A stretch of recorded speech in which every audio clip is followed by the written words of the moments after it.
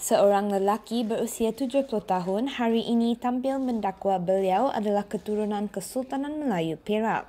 Tengku Amran Tengku Muhammad Shah berkata tujuan pendedahannya hari ini adalah kerana mahu menyambung semula hubungan silaturahim dengan keluarga diraja. Berharap mana apa yang wartawan ketengahkan bermakna pihak-pihak yang bersangkutan tadi dapatlah memberikan perhubungan, memberikan ruang untuk dia mendapat balik berhubungan dengan nasab sasilah diri sendiri.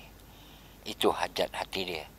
Beliau yang menghadapi kesukaran bertutur selepas diserang angin Ahmar berkata dirinya adalah cucu anda Sultan Abdul Jalil Karamatullah Shah yang memerintah Perak pada 1916 sehingga kemangkatan baginda dua tahun selepas itu.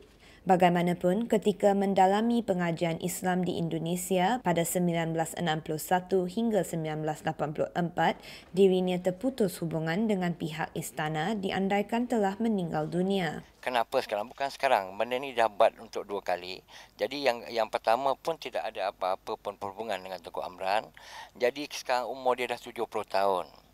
Jadi hasrat dia tadi adalah untuk menyambung satu rahim dengan keluarga dia tadi dan inilah yang kita buat untuk kali kedua. Jelasnya, usahanya merapatkan hubungan silaturahim dengan keluarga diraja tidak berbalas. Pada sidang akhbar ini, beliau juga mengemukakan salinan surat beranak yang menyatakan nama bapa beliau sebagai Tengku Muhammad Shah Ibni Sultan Abdul Jalil Nasiruddin Mukhtaram Shah. Pihak kami juga telah menghubungi Istana Perak bagi mendapatkan reaksi mereka.